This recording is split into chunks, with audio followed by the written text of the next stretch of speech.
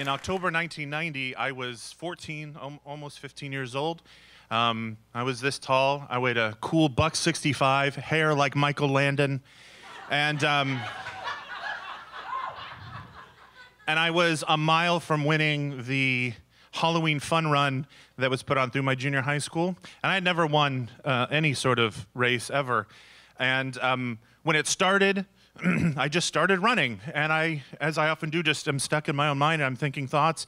And at a certain point, I kind of didn't notice anyone in front of me. I looked behind me, there's no one behind me. I'm straight up just destroying everyone. And so my brain starts spiraling into what this is going to mean for me socially. My status is because that at this point where I where I lived probably everywhere, this was everything. Um, how you did, what you did, what you know, and so I'm thinking this is just amazing, and I it just keeps pushing me, pushing me, and I'm about a mile away, and I'm near the the Tualatin Hills Park and Recreation Center, and it's this just big complex of a couple big buildings with pools and and, and courts, and then outdoor baseball fields and soccer fields, and this path that cuts through it beautiful manicured grass going down to these ditches with these long tall bushes and i start getting a side ache i think but i don't really notice it. I'm i'm so fast right now. I am so fast. The beautiful blue shorts that are short shorts and i'm running it's 1990 and i'm feeling good. The hair and and the the pain in my stomach starts to move and it's a different kind of pain. It's the pain that says i'm going to i'm to shit and i'm to i'm going to shit now and I, um, and, and, and I don't know what to do because I'm not quite 15 yet. I feel like I was 15. I know what to do. So I, and it's going to happen. And so I, I just jump off the path and I go down the hill a little bit. And I remember I slipped a little bit. It was wet. And I darted behind the bushes and I went down where I know I couldn't be seen. And I pulled down my shorts and I and I started going, and then I started becoming panicking because of this incline. I was like crab walking, trying to go, so I didn't want it to flow down into my my my beautiful Air Max sneakers, which you can't disturb that. So I, and I'm shitting a lot, and it's upsetting. And I start to see finally after a while. The, everyone starts catching up and they're just running up and i can see them through the bushes just and i'm like well there goes that and um, and I, I, was really ahead of them. I was really winning. Um, and they, they keep kind of going, and I just have to stay there, and I have to be really still, and the pants are on my ankles, and I'm nervous. Uh, and then when most of the pack goes, I think, well, I have to try to clean up, and I, I well, the grass is wet, so I try like sliding on the grass a little bit, and that, and then I can see that my underwear, the underwear and shorts are gone at this, they're damaged but the front of the underwear is fine. So I take that, I clean up, and so I'm like, well, these aren't coming with me. So like, my first instinct was to bury them, but I didn't want to. I didn't want to dig, so I just sort of hushed them under the thing and put some. Uh, they're still there, probably. but I'm, but I'm, but I'm trapped, and I've got these sort of azure blue short shorts that are destroyed.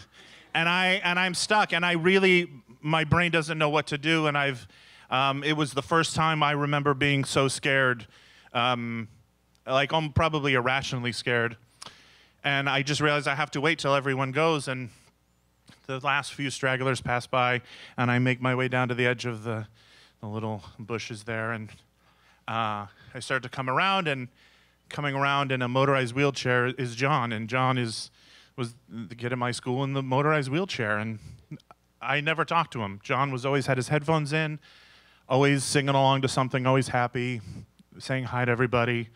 Not a lot of people said hi back. And he stopped and he, I tried to hide and he, he yelled my name. I never heard him say my name, and I said, Yeah. And he said, Are you hurt? And I said, No. He said, Did you have an accident? and I said, Yes. and he said, Which one? and I stood up and, and I didn't say anything. And he said, um, um, Here's my sweatshirt. And he took off his sweatshirt. And I walked up and, and he gave me a sweatshirt and I tied it around my waist. And um, we, we, I walked with him back to school. And he talked the whole time. He talked about Rush. He loved Rush. A lot about Rush. How uh, next time Rush came back, his, his mom was going to take him to see Rush, and he couldn't wait. And what did I think of Rush? And did I know this Rush song? And I and I didn't. And he's oh you got and um, he totally it, it was relaxed. He relaxed me. And and we walked back and we got near the gym and everyone is inside having a good time and uh, Coach Boyer standing outside and he's like, "Where have you two been?" And and he said, "Oh, I had a problem with my wheelchair and, and Jason helped me out." And uh, uh, Coach put his hand on my shoulder and said, uh, "You're a good kid." And I went in, took a shower. No one, no one knew. And and and I wish, I wish that like the next day at school uh, the rest of the year that when I saw John in the hall, I'd say hi to him, but but I didn't because my fucking stupid brain was still worrying about the wrong things. And I thought about it all the time, and I still do. It, him doing that, and I and I thought, what a what an amazing thing he did for me. What a huge act of kindness. And I and I realized that for him, it was just an everyday thing. He probably did. I think it was, he was just that kind of person. And uh, so, in the, you know, 25 years since, I've been trying to work really hard uh, to be someone who's worthy of that kind of kindness. Thanks.